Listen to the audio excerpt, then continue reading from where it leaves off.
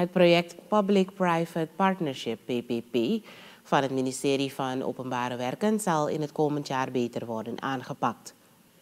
Dit private partnerschap is bedoeld om de particuliere sector te betrekken bij realisatie van projecten zoals de sociale woningbouw.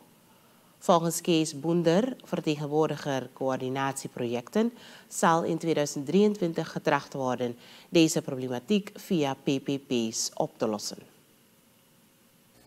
Dus dat houdt in dat we daar uh, eerlijk gezegd niet veel hard aan gewerkt hebben, zeer zeker.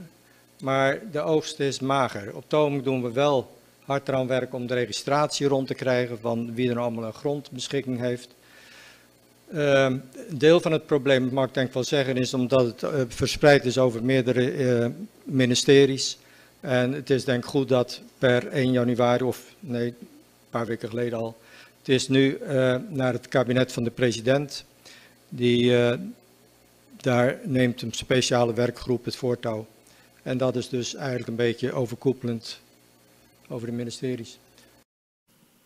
Het Mark Nikeri-project vloeit immers ook voort uit het PPP-initiatief.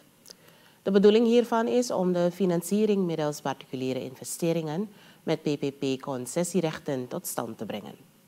De bedoeling is dat er een markt komt, geprivatiseerd, nieuw of gerenoveerd. Maar uh, we hebben voorlopig nog geen keiharde resultaten.